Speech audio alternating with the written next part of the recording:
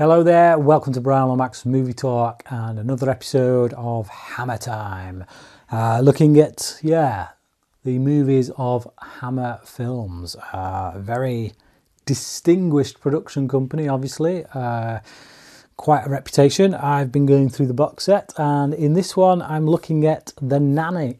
Sorry, I'll say that again The Nanny. Uh, this is directed by Seth Holt. It was released in 1965. It stars Bette Davis or Betty Davis. I don't quite know whether you pronounce that Bet or Betty. Um, my mum says Bet. She says she was a fan of Bette Davis back in the day. Uh, so we'll go with that.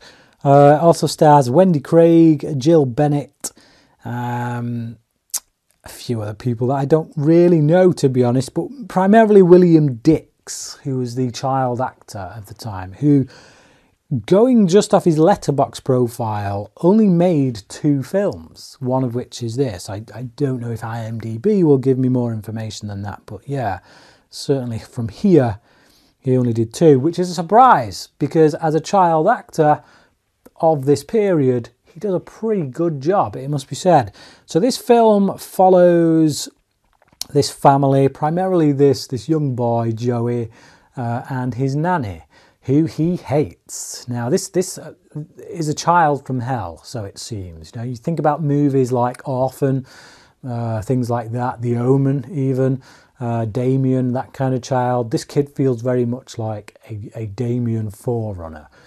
Um, and yeah, he hates his nanny, does not want her near him, doesn't want her doing anything for him. He goes on hunger strike whenever he whenever she cooks for, for him. Um, and it turns out that he had a younger sister, very young sister, and she died a few years back. And um, it, it, seems like it was an accident, but uh, yeah, from the look of it, some of the blame may lie with him. He seems to blame the nanny. Uh, and yeah, by the look of things, something seems really off with this kid. Now, um, so the question is, what happened? What happened with this kid? Did he do it?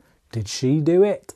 Was it something else? What happened? Um, the answer to that question, and I, I won't give away the answer to that question just for those who haven't seen it, because I absolutely, definitely, positively do recommend you watch this film. Like I say, it's from 1965.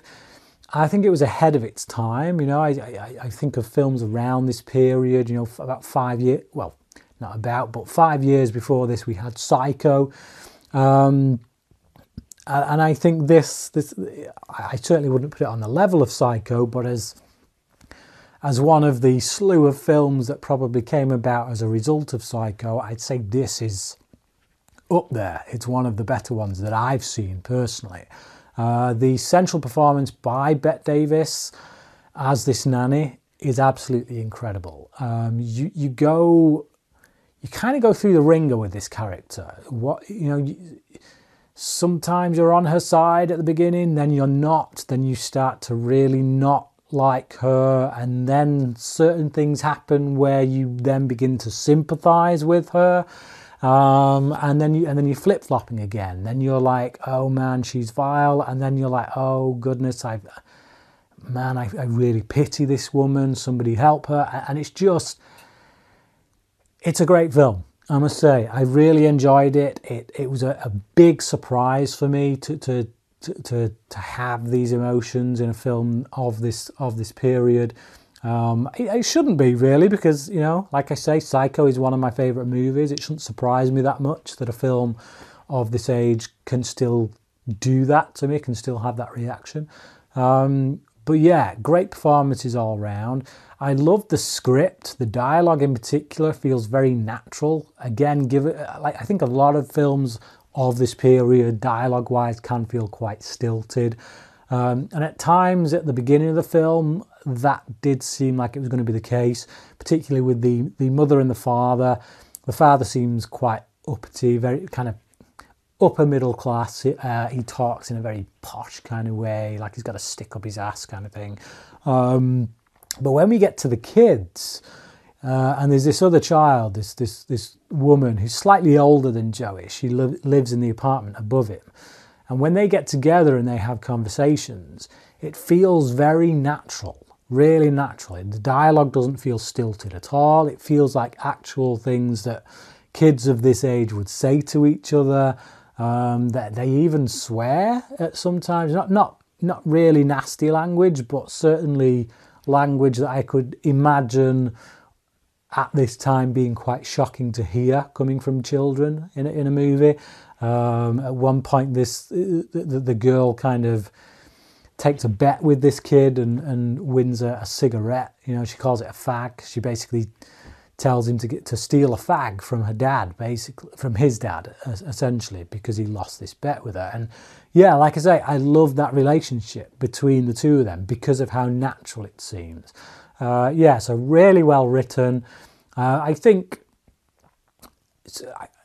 maybe uh, with regards to the one one of the characters, like the the, the lad, the, Joey, I think there's maybe not as many surprises with him.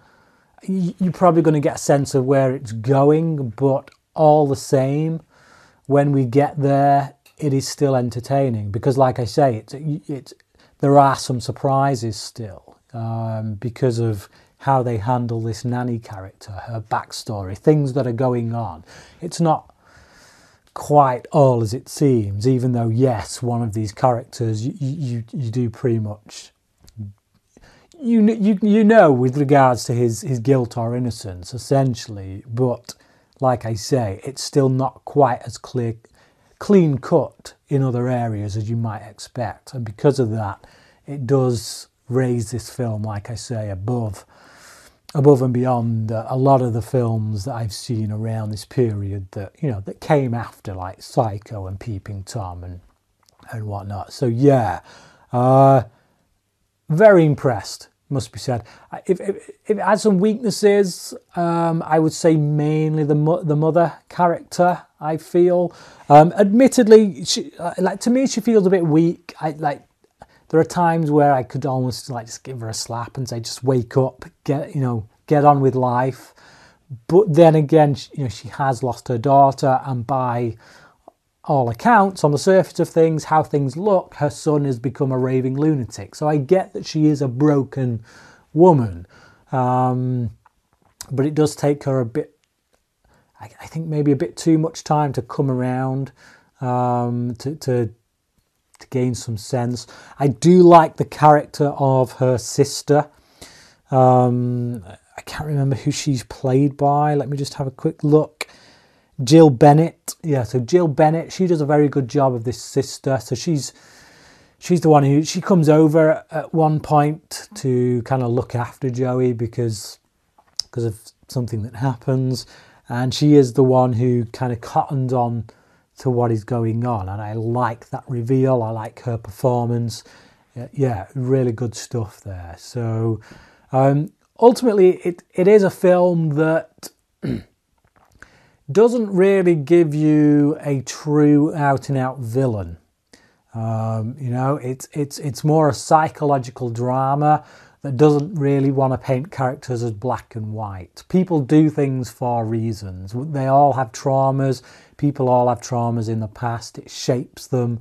Um, and because of certain accidents and certain responsibilities, decisions that are, are made, um, you know, there is guilt. There is also, um, you know, sympathy that can, that can be that can be felt. It, it, it's it's rich in that regard, um, and and that's essentially what the film is about. That monsters aren't always born; they're they're created, and not necessarily through abuse, but just by circumstance. Uh, it's yeah, it's a good film. It's a complex film.